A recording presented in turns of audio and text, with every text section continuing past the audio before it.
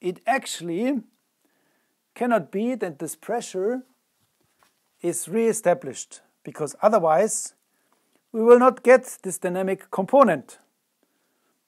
But the most, most impressive uh, conclusion about this is that finally we will not return into order like the potential theory is trying to argue. Welcome back to Fractal Aerodynamics. My name is Felix Schaller and I'm the host of this channel. In this chapter, chapter 4, we would like to talk about energy conservation. This is the most important chapter of this, of this theory.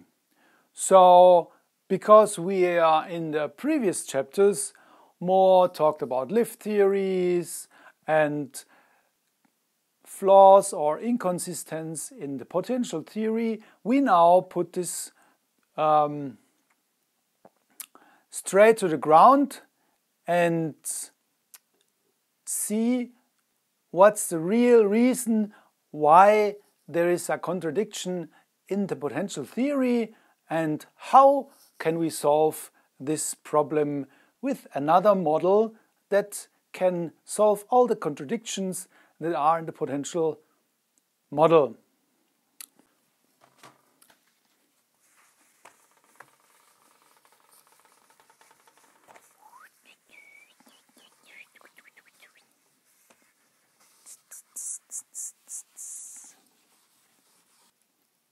All right, what's so special on the theory that uh, the world is calculating for over 200 years in fluid dynamics, aerodynamics, and such, and come up with these odds that, that are not making sense at all.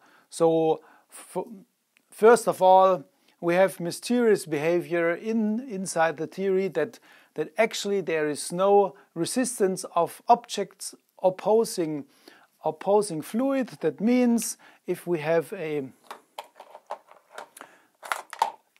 if we have an object inside a fluid, this is my object, and it's and it's um, opposed to fluid that is flowing around the object. There's no opposing force of the fluid against the object because we have this so-called um, Clover pressure distribution that we have a lower pressure field at the bottom and the top and positive pressure fields at the front and the end. So, and that's why it's argued that actually by this model, the, the object will not have any resistance. But because of Ludwig Prandtl, he, he discovered the, the boundary layer, uh, which in a way has shearing inside the fluid where the fluid itself has a sticky behavior on the surface itself. So when you argue with the fluid is not sliding on the surface, you have a shearing into, in, inside the fluid, which by viscosity of the fluid itself creates the, the resistance then. Such models like Navier-Stokes and other uh, fluid simulation simulation models are built on this um, boundary layer condition that finally you introduce friction inside, inside the model, but actually by, by pure definition, this model has no resistance. Also, because we have no resistance by the Helmholtz rules, we have also no turbulence because turbulence is argued that they must, be, they must come out of a resistance. Without the resistance, without the momentum change, because momentum has a certain momentum conservation, that without a object revolving in one direction, there must be another object revolving in the opposite direction. So, in fact, we need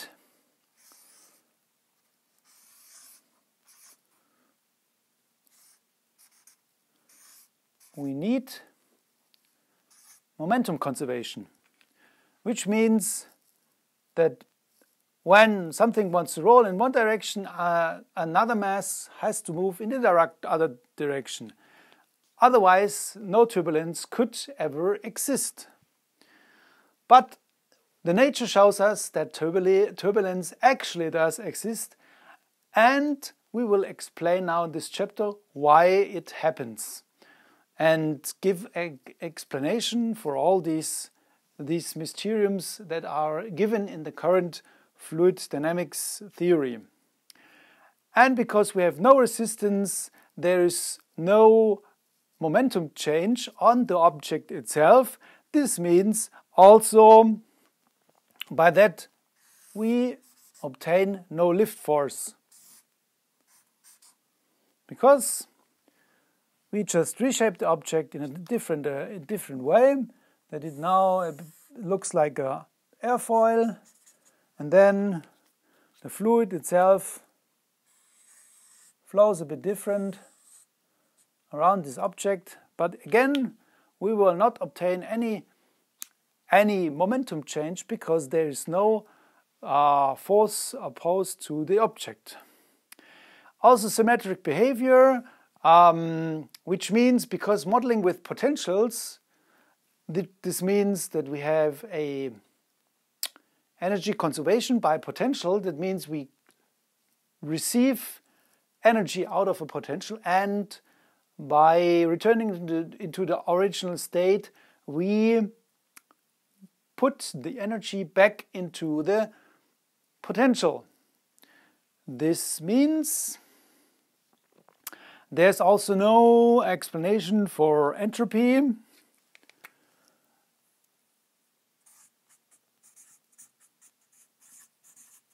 And chaos. But we will also talk about this and explain the reason of entropy and chaos because it's it is heavily attached to this problem. So finally we see that we'll all sum up at the end, but everything after another. So step by step. Uh, as mentioned in other channels, uh, other chapters before, uh, we criticized the inconsistent, inconsistent me mechanics that brought up everything like why is there a certain low pressure in the narrow section of a tube system? Or if we have a tube that has a constriction and then an expansion again like this. We have a tube system and has a constriction and then an expansion again a diffuser.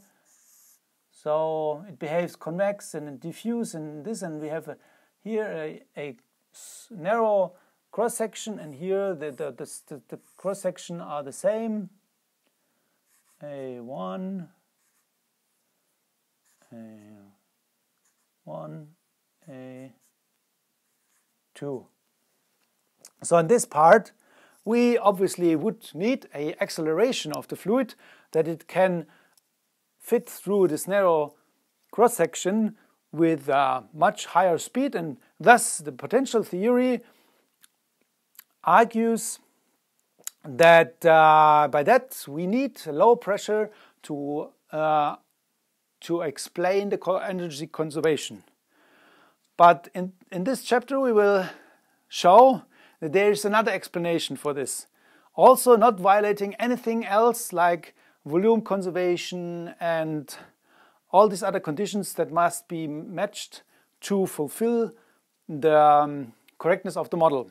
Finally, the potential model needs to introduce virtual energy to argue the potential uh, um, the energy that is withdrawn from the static pressure into the dynamic into the dynamic pressure. And by that it needs to be argued a, a virtual energy that really is not really measurable, but it's introduced to fulfill the um, energy conservation laws. One point I forgot is momentum conservation. This model is not talking about momentum conservation at all, because in this narrow cross section there happens an acceleration, and by that you have an impulse change, which means that this tube system would act somehow like a rocket.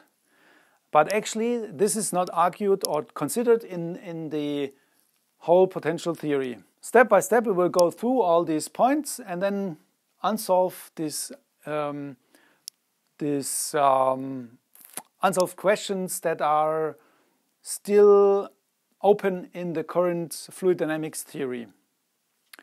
All right, let's start with um, the explanation. To understand it a bit better, um, I will phrase some parts of the last chapters where we discussed a little bit of the asymmetric behavior of fluids. Why it happens that when I have a vacuum cleaner with a strong uh, turbine sucking or transporting a lot of air, that when I approach an object like a feather or so with this vacuum cleaner, then the distance where this air has effect is very, very close or very short. While when I have a hairdryer with much smaller motor, it can blow something meters away. But why is this the way? Therefore, we have to return to a tube system to understand the conditions a bit better. Let's paint a classic tube system, how the, the um, mathematics like Bernoulli and Giovanni Venturi made their considerations of fluid dynamics in the 17th, 18th century. Like they thought when I have a cross section like this, and then it goes back to the same cross section, like we call it A1, and we put a narrow cross section in the middle, we call it A2, then somehow the same amount of fluid, we call this Q1, must pass through that cross section at the same time. So this is this means volume conservation, which means that there comes the speed. We call it V1. And somehow, because we have volume conservation, the cross-section returns to the same, same diameter, the, the speed finally has to return to the same speed. But here we have a little problem that that in this cross section the same amount of fluid, Q1, has to pass through with then with a much higher speed. So this is then the same volume than this. But in the same amount of time, the speed V2, V2 must, or the, the mass must must pass a much longer distance to pass the same amount of mass through that narrow cross section. And by that, those mathematicians in this in this in these times thought that energy that is here uh, must in a way be reestablished here. Otherwise, we have a violation in the energy conservation. And as we know, there's no violation ever proven. We take this as fact or as a condition uh, where we bind our, our whole considerations on it. So we do not allow energy conservation violation. So we, we, accept, we, we, we constrain everything on energy, energy conservation to to explain our con, or to to construct our considerations. So they thought, well, if there is a slower speed, then somehow the kinetic energy must rise here, and then because of the cross section returns to the same diameter, the old kinetic energy is restored. Otherwise, so they, they claim, the energy conservation or the volume conservation, the energy conservation and volume, otherwise what one of these rules are, is violated. If we not return to same speed, same cross section, and everything. So then they argued, like as known in classic mechanics with rigid bodies, in a gravity field, that somehow, like in a uh, ob rigid objects in a gravity field, uh, a similar behavior must happen in fluid dynamics. That means that we have a static pressure, so so we have high static pressure. How we can explain this? Yeah, let's say this. So we we uh, we make a diagram in here where we argue static pressure, and this is all on all pressure P and over X. So when we transform this to that other diagram, in some ways, somehow the, the kinetic energy must rise. So we have an increase in kinetic energy. It is now, yeah, a bit lower. But let's say we have all overall energy amount that is always constant. It's always the same. But in our part of the acceleration, the kinetic, kinetic energy goes up, but then we also observe that the pressure is going down. No? So we have lower pressure here, so this is P2, this is P1, and somehow they are the, have different levels of pressure. Static pressure, or the con or like like like everything is is is constant. Like like we have P static pressure, P dynamic. That's what you learn in any aerodynamics lesson that you have to always satisfy this, this energy conservation condition. So when the fluid is passing through this narrowed cross-section, it somehow must adapt to the, to the whole cross-section and has to slow down. And because of slowing down, the momentum of this fluid has to return to its own old speed. So a deceleration happens. Here an acceleration happens and here a deceleration. When we model this, as you would say, in a in this in this consideration consideration as a as a mechanic model, then you have you would say then when the fluid is reaching this part and it has to accelerate, then somehow there comes an opposing force in this direction, a mass inertia.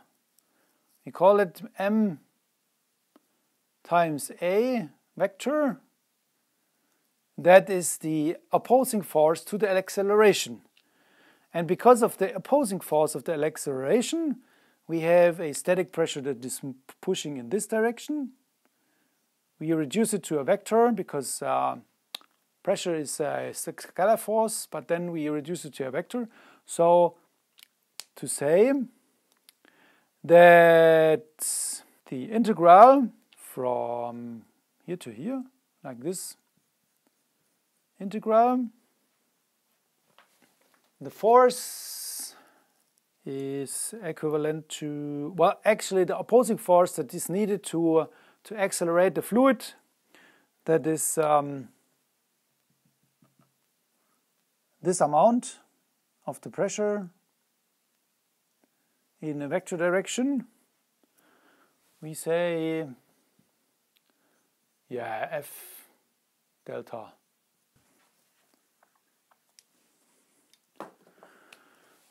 Delta.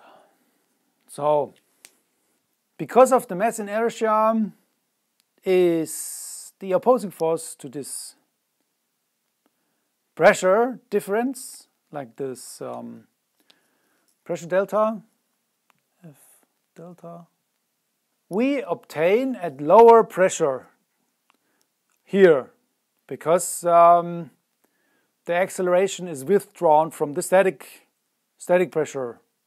But then again, because of the deacceleration of the fluid, we, we become the, the pressure reestablished by deaccelerating, which means that we have a, um, I now wipe this away.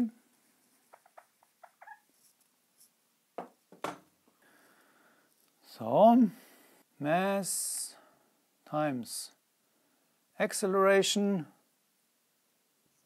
in this direction, whereas the static force is again re-established. So the static pressure again has, has a high, higher high pressure again.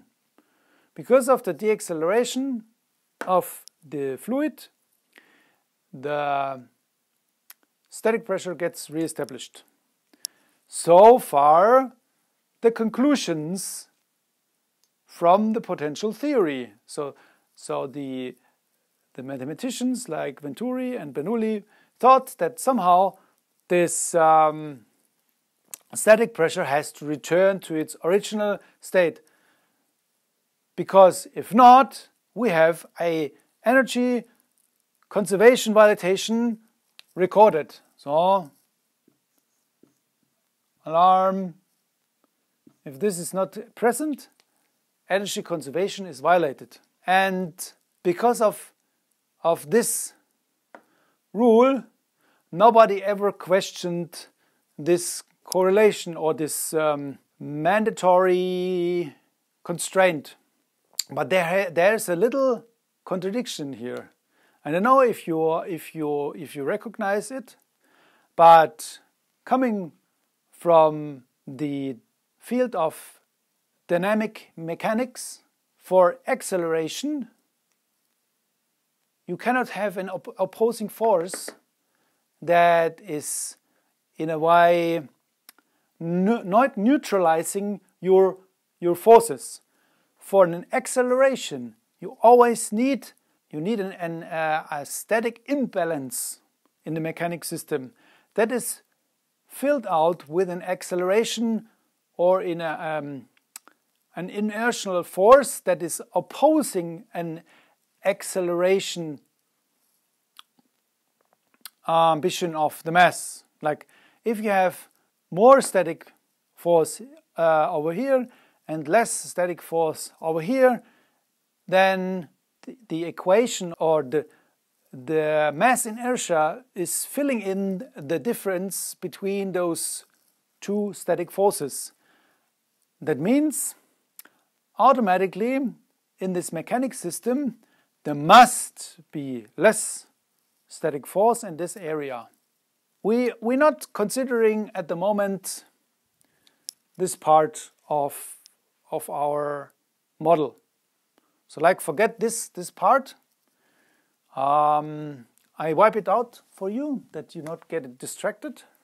So uh, to actually allow, and there is the contradiction, to actually allow acceleration in that system, there has to be a, a force that is lower than, than here, or the pressure, if you're thinking in scalar dimensions or, or not in vectors, then you say the scalar viewpoint uh, would be low pressure, or in a vector viewpoint, uh, a, a, higher vector or stronger vector in this direction than a smaller vector of static force in this direction. Like we call this F2, F1, sorry, F1, F2. And then F1 bigger than F2. All right? So this is our constraint. It is, it is a must because if this F2 is not smaller than F1, we cannot add a dynamic component into the system like F1 equals F2 plus our, I just call it M times A, our dynamic component. Like this is our, our component that allows us a dynamic acceleration of the fluid. And without having a lower pressure here, which is compensating by the acceleration, we will not have any dynamic situation in this fluid system. So everything would be rigid and, and conserved or stiff, rigid, stiff, whatever you call it, because we cannot allow a force inequality or we cannot, uh, um, or because of the force 2 is, is less than, than force 1, um, that is filled in by a dynamic component, we only then we can allow um, dynamic acceleration or dynamic motion at all. So, but the existing of a lower force or lower static force is not obvious. So we, we, we know that in some way we have a, a certain static pressure level and that in a way has established in this tube system. So it is not obvious how can it be established that, that there is a section where there is less static force. How, how will this happen in a mechanic system where every force at the end must be sum up? That we in a one, one part we just have less static force and then again we have more or higher static force, that um, this con condition is not possible in a mechanic system because a internal inequality of forces is is mechanically not not um, projectable or it's it's not you cannot model it. Well you can model it mathematically. Uh, you can model everything mathematically. You can say yeah because of there is an acceleration, you can say less force than here, but in a physical system, uh, you cannot tell just parts of your mechanical system where there is less force existing, like uh, by what? Why, why should there be all forces want to, always to uh, equilibrate each, uh, each other and you not cannot you, you not can just introduce a lower static force by by some reason with no argumentation uh, that, that is a lower force, just to argue a, a, a dynamic uh, acceleration.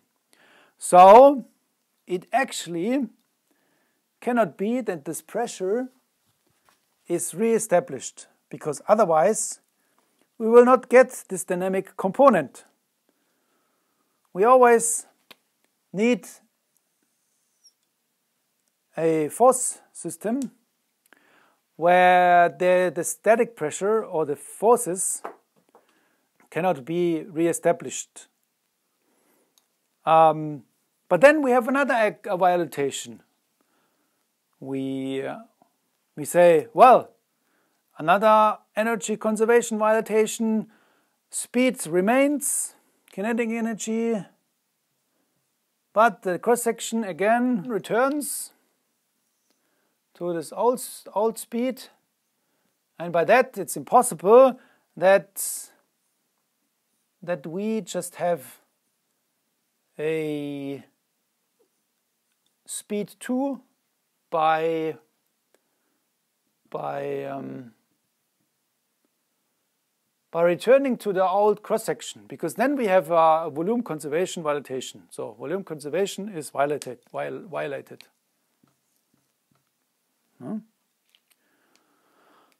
But how we will solve this dynamic problem that uh, the dynamic pressure or the static force cannot be reestablished otherwise the dynamic dynamic uh, force has now has uh, will be will be um, equilibrated by the static force. So it will just be it will just be shortened out. It will be shortened out and and uh, the static pressure just remains by this and we have no motion at all as I already mentioned. So we need an in, a, in an unbalanced force system that that finally allows an acceleration. And it means that we need believe it or not a static pressure that will not return but then, how we will solve this problem? I show you. So how are we going to solve this? With, with this mechanic construction in the fluid, we have a volume conservation dilatation because obviously the kinetic energy must remain at its old speed, but because we are returning to the old cross section, we get a contradiction that that the fluid obviously, obviously cannot move with the old speed. V2 by passing a, a bigger cross section of a1 because then the amount of volume per time q is uh, delta V and delta T. Um, so the volume per time is uh, is no longer valid with this construction. But how we will solve this anyway when keeping a lower static force with um, with the same kinetic energy so we still have the energy conservation fulfilled but we can also fulfill the volume conservation. By that we have to go into a more a different um, observation or viewpoint, uh, we take not the perspective of a fluid mass, but of the, the perspective of a, a single particle that is moving inside that fluid. And this, and this particle is not bound to move in one direction, but also can move in different ways. Or it can move inside this area, revolving, for instance, by revolving inside this inside this plane, it still can have the, the motion vector v1 in that direction, but another component, for instance, in this direction. We, how do you call it, we,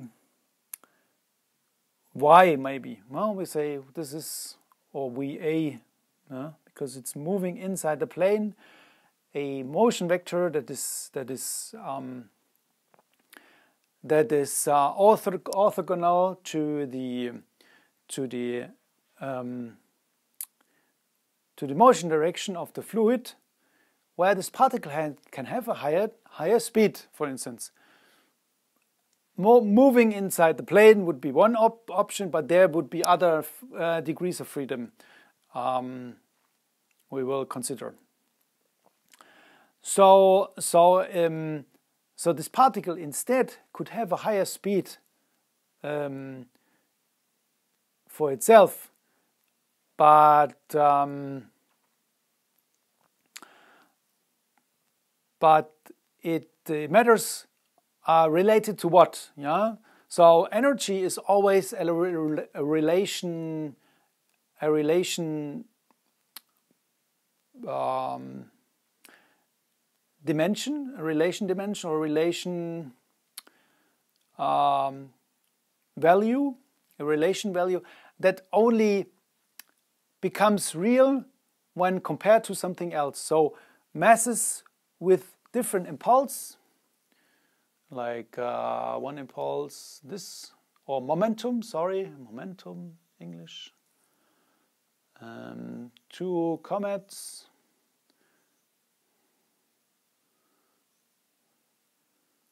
Then moving in, in space. One is moving in this direction, and the other moving in that direction. So, so the energy between these objects, so it's always, so it's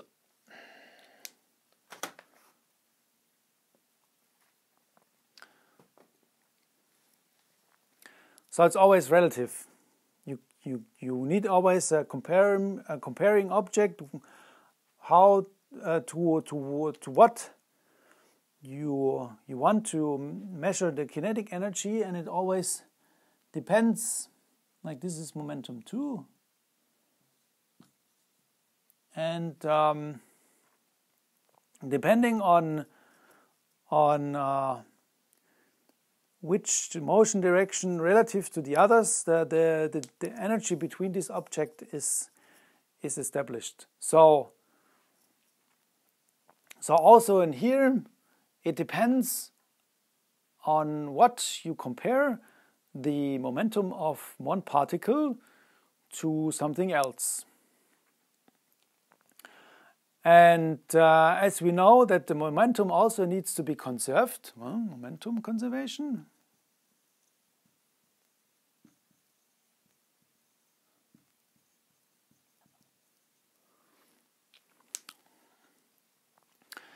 This particle needs to keep its momentum, but the momentum can be um, deflected or, or can be um,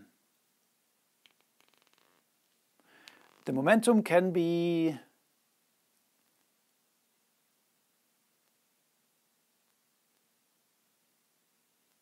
yeah, you can say the momentum can be deflected or the the attracted, um, and and by and when you have a orthogonal force to an object, so this object is moving. Well, let's go back to this. We have an object moving and there is an orthogonal speed uh, force. It will not affect the momentum so far, but the tra trajectory of the object itself. So when you have a centripetal force that is constrained to a point, there is an existing force but the momentum remains the same. So momentum, momentum is same. So now when we have an attracting force, then then then uh, the mass starts to rotate around a attractor point.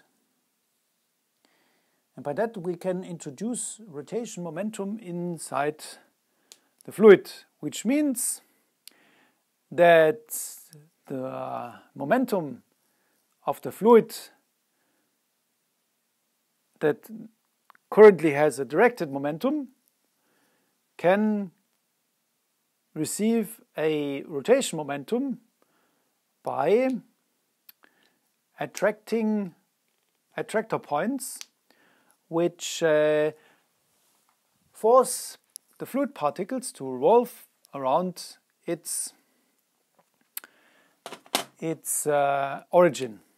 Like for instance, we have a attractor point here and a particle that starts with the speed of v2 and then it revolves around that attractor. The attractor itself can move with a certain speed of v1.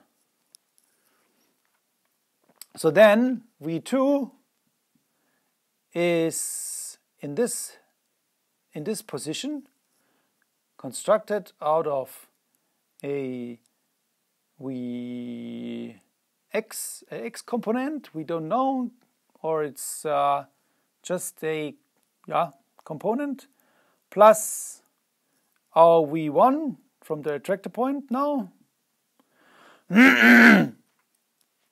where uh, where we we now measure a speed that is uh, the same as v2 at this point but then gets deflected by an attractor with a, diff, diff, a certain force centripetal force. And now it starts to revolve around this point here and in this upper part then we get we receive v3 observed from our direction. So we we are the observer. And um, because um, uh, because it it it depends from where you look uh, which kinetic energy you're observing. Um, are you looking from from this point or are you looking from, from our point of view? And depending on, on where you compare the momentums to each other, the kinetic energy is, is measured. So at the moment we're just looking from our perspective. And from our perspective in this, in this, in this, in this point, the particle has the speed of v2 like like in the cross section, in this in this narrowed cross section. But then it revolves around the attractor with the same revol revolving speed around the around the attractor. So compared to attractor, it uh, it has the speed vx. It always keeps the speed vx around the attractor while the attractor itself moves with the speed v v1. And from our perspective, we, we observe a third speed that is v3, that is v1 minus vx. So when we graph our speed on an x-axis, we will observe this particle starts with a low speed, then it goes into the cross section, receives the high speed acceleration, and then it starts revolving around the attractor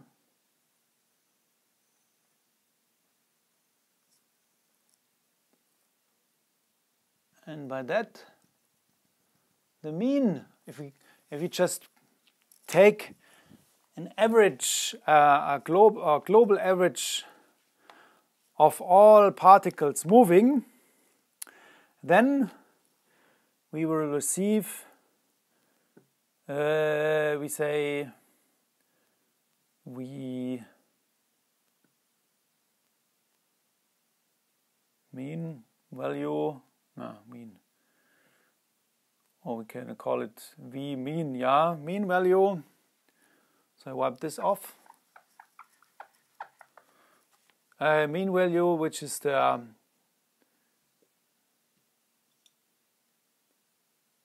average of, um, or we can say um, like this, certain average of um,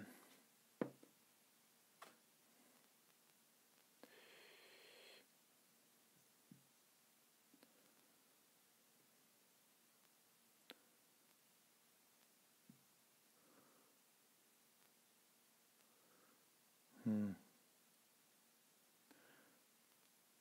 So, so this is uh, kind of average of all the vectors mm, where we finally return the v1 as a, medi um, a mean value, a mean speed value of all the vectors of the particles, uh, speed vectors.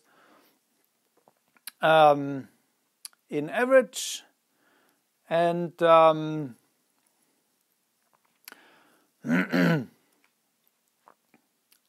by that by that we just observe or or that is what what what Bernoulli and Venturi is observing. They said they, they just said yeah the speed is moving at its old speed v1 so we need to argue about v1 to to fulfill the um, the to fulfill the energy conservation law. But actually looking closer the, the V1 is just an average, uh, a mean value of all, all particle motions that are happening after passing the cross section, a narrow cross section. Um, the average speed of all, all particles, but inside or related to the attractors that are moving, the particle speed is uh, different. So they have a much higher uh, particle speed and thus the kinetic energy uh, is then converted into a rotation momentum. So this part is now rotation momentum and so we receive a energy conservation by fulfilling all all these uh, three um, these three conditions, we have energy conservation by the particle speed is remaining at this old speed.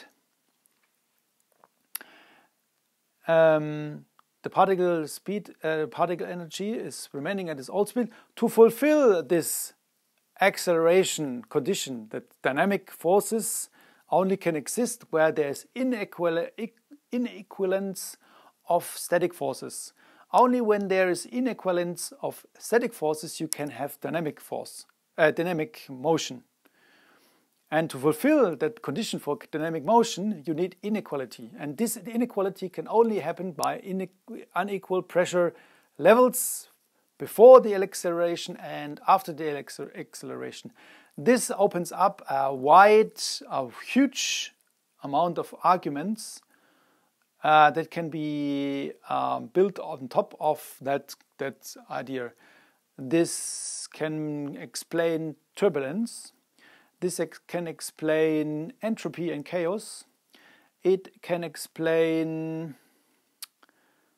Um, one second. It can explain energy conservation, it can explain volume conservation, and um, also momentum conservation. It explains that there must be a thrust in this direction because of the opposing force in here and um, much more things. Also, we will build on, on that a new energy stacking model. On base of this energy stacking model, we will discuss a bit more deeper uh, the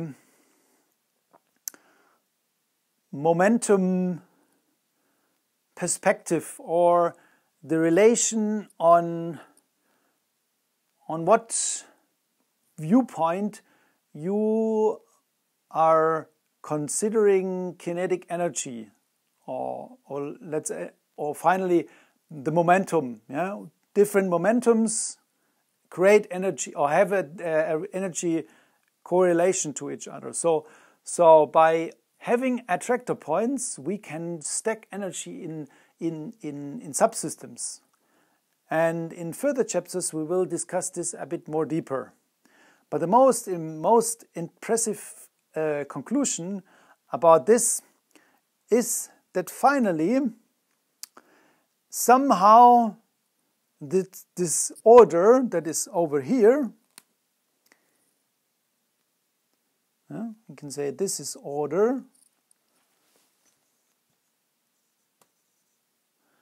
is destroyed in so we will not return into order like the potential theory is trying to argue that it will return everything to the original uh, to the original momentum, the original speed, the original pressure, but actually in fluids something happens when there's an acceleration.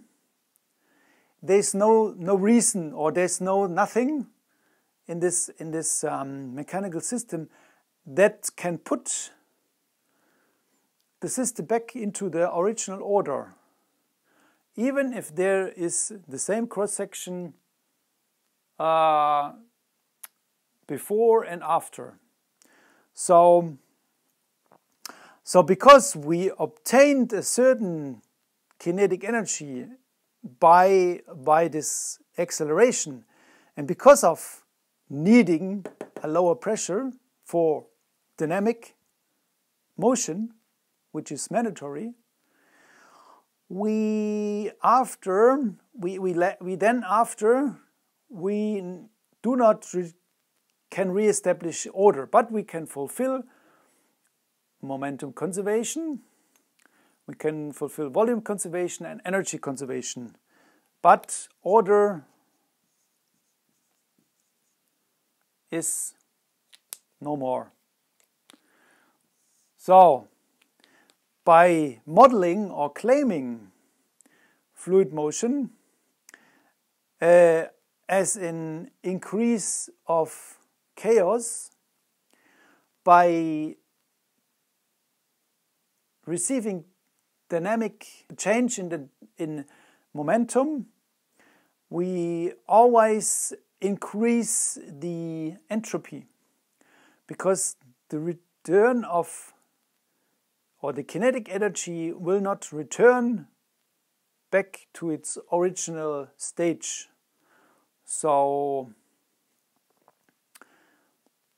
so, so in average we can fulfill the, the boundary conditions to fulfill the, um, the volume conservation by the, the equal flow, we can fulfill um, energy conservation by remaining the all over all overall energy, but the order is no longer um, re-established. So the, the order is destroyed, and we have something like a resistance. So so be, because of having dynamic situation, we also need to control that dynamic situation.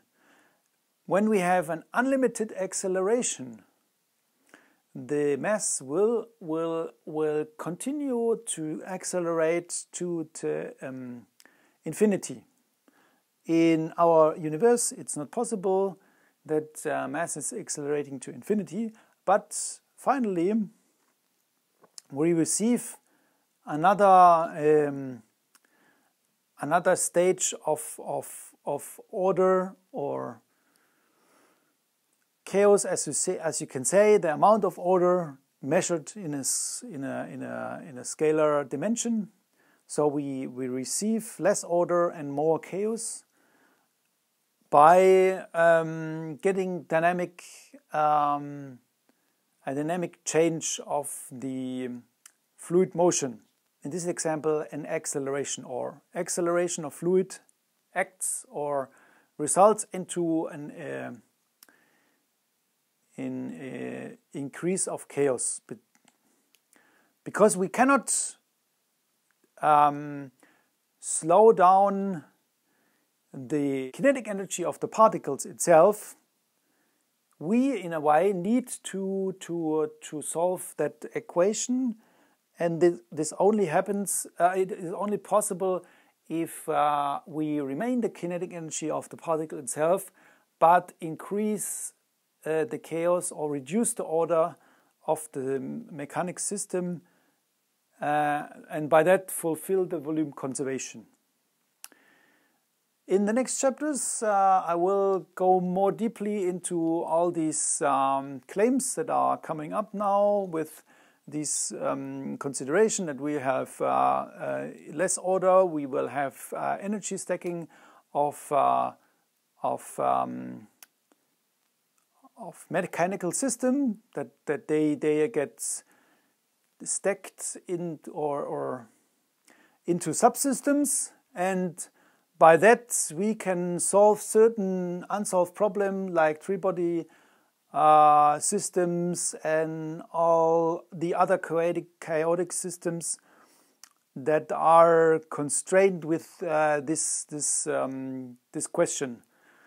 And much more um, yes acoustics. We also um, this this is another point you now would have question uh, ask yourself wait a minute Bernoulli has measured a lower pressure inside the tube section here, the narrow tube section.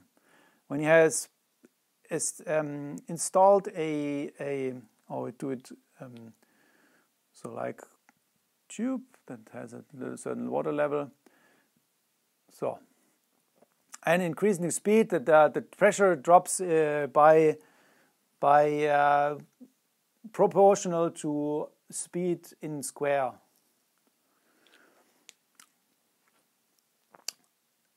This is already included in this um, acceleration condition. It will be proportional to v, v square. But it's, it's also observed that, that um, the pressure in here is even lower than over here. But spoken in this mechanical system, we already have a pressure drop that is proportional to V2. So this is uh, delta P. Uh, delta P. So, so this um, this delta P that is uh, arguing the acceleration of uh, of the fluid, the pressure drop, is already proportional to V2, otherwise you don't will receive the um, kinetic uh, um, energy conservation. So, so energy, um, kinetic energy, energy is always proportional to V square. And um, this is already included in this uh, pressure drop, but if you would measure a static pressure tube when you install it here, you will notice that you will receive an even lower um, lower pressure here. That has to do with uh, mass inertia of the fluid itself and also is a reason why there is re uh, revolving of the of the particles around an attractor. I will discuss this in further chapters. Um, um, either the, the pressure, static pressure tube as well as the revolving of the, the particles around an attractor.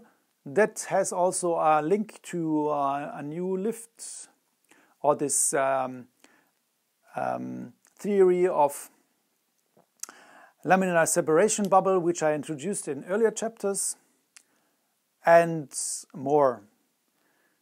So stay tuned and be excited what will be coming up next when I will explain all these um, other aspects that are hidden inside this model and fulfilling real realistic observation much better than current models that are acting acting with a lot of uh, improvements to to argue observed fluid dynamics behavior in reality. Um, current aerodynamics science has still struggles with a lot of uh, contradictions, and with this model we can solve all these contradictions uh, much more easily. And yes, stay tuned and hope I see you next time. Bye bye.